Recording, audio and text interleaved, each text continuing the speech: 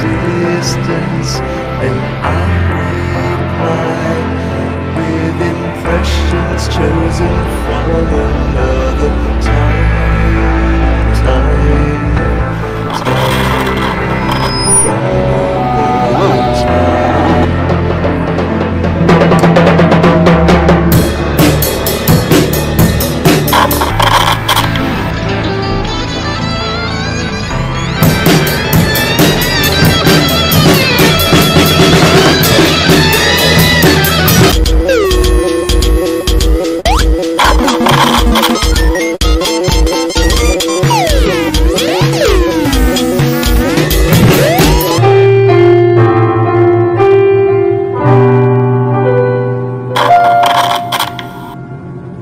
Love of my life.